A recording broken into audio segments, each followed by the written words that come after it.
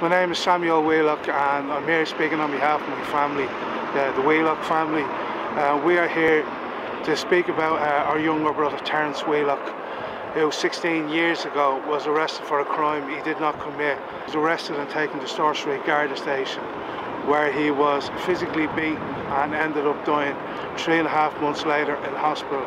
16 years is way too long to be fighting for answers that Terence deserves. He, he deserves justice. Their family deserves justice. Since then, my family have begun a campaign for justice for Terence, which was headed up uh, by my uh, late father Sammy uh, and my uh, late brother Larry. Over the last few years, both Larry and both uh, uh, my dad have passed away and who have never got to see justice that they have fought so hard for. So I'm asking everyone if they're free on the day or to even make time if you can to come out and support us here at the Garden of Remembrance.